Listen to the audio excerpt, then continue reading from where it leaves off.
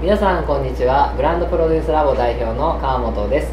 本日はですね、えー有限会社カスターニャのえー立町カヌレ店店長でいらっしゃいます竹村美智子さんにお越しいただきました。今日はよろしくお願いします。くお願いいたします。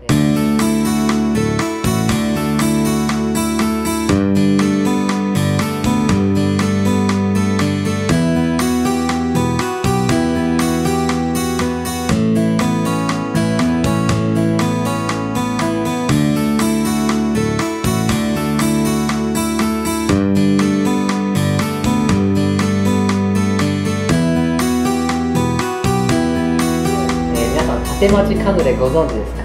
すごく美味しいお菓子なんですけども今日はこのお菓子が生まれた経緯についてぜひ店長さん伺いたいなと思っております。で竹村さんあの、はい。この立町カヌレこれ生まれた経緯っていうのをぜひちょっと教えていただいてもいいですか？はい、もともとあの会社があのスイーツを作っておりまして、であの以前からあのそこのあの工房の方で直販とかもやってたんですけど、はいはい、はい、あの息子のあの常務ですね、はい。常務の方が何か会社のあのあの中心にあの何かあの商品を出してあの会社をちょっとこうフラッグショップって言いますかね。そういうものを作目り印となるようなね。そうですね。はあ。作りたいということで、はい。あの夢を持ってまして。それであのいろいろあの場所を探したりとか、はい。何にしようかなって息子も考えてたんだと思うんですけどカヌレにたどり着きましたその結果。はい。カヌレになんかたどり着くきっかけみたいなのはあったんですか？そうですね。大体息子がカヌレ好あき大好きで。はいカヌレが好きでしてそれであのどうできないかなってずっと思ってたみたいです、おーなるほどはい。やっぱりなんか好きっていうエネルギーってすごいですよそうですね。そのはい。立町、まあ、カヌレって、まあ、カヌレを選んでどうでしたか？その他の人の反応というか、いやまず最初カヌレって聞いうん。て、あの常務の方から話があった時に、製造の皆さんは皆さん、い、やーやめましょうって第一声メダメダメって感じでやっぱした、ね、難しいですかカヌレそうですねカヌレ自体があの普通のあのケーキの生地ではなくて、うんうん。あの生地をちょっと一晩二晩寝かせたりする商品でちょっと時間もかかってなるほどなるほ結構あどのはい。すごいこだわるというか。そうですね。工程がすごい多いんですね、そうですね。はい。そんな割に合わんよみたいな感じですか？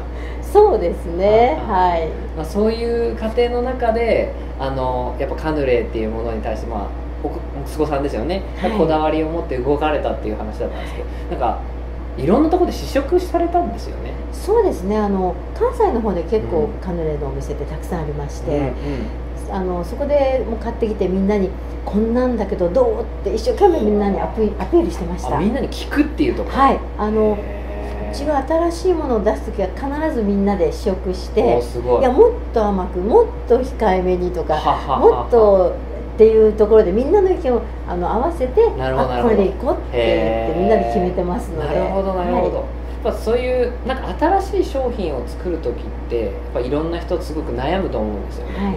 でもやっぱりまあこのカヌレっていう場所でいうとまあ商品開発で大切なことって僕はなんかそうやっぱ人に聞くこととか、まあ好きっていうものを情熱持って人に聞いていろんな人にアイデアをもらいながら育てていくっていうふうに感じたんですけども、はい。店長さんはなんかその辺ってどう思いました？なんかやっぱこだわりというかそういう商品を作るために必要なこと、はい。うん、そうですね。あのやはり最初あの息子が言った時に私も、うん。あの10年くらい前にブームがあったんですねカああブーム。ヌレのでその時に食べたことはあるんですけど、うんうん。ちょっと商品としては商品が弱い商品かなあのブームもすぐこう去ったんですね。はあはあはあ。それでえまたここでカヌレってちょっと私もそう思った部分もありましたし、はい。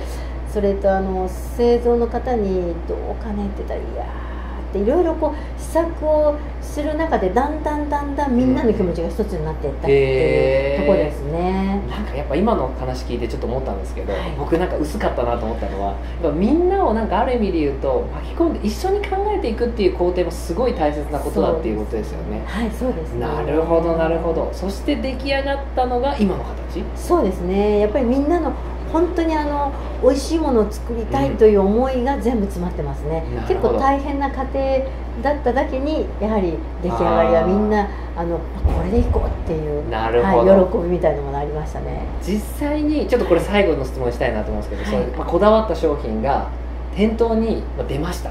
はい。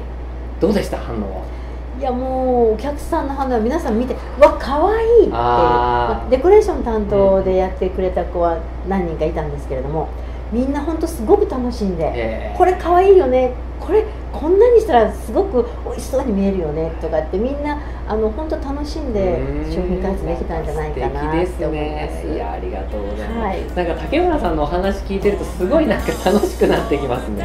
本当ありがとうございます。ぜひですね、まあ、こういったこだわりのある商品立町カヌレぜひですね皆さんも食べに行っていただけたら嬉しいです。はい、では今回はこんな形で終わりにしたいと思います。ありがとうございました。ありがとうございました。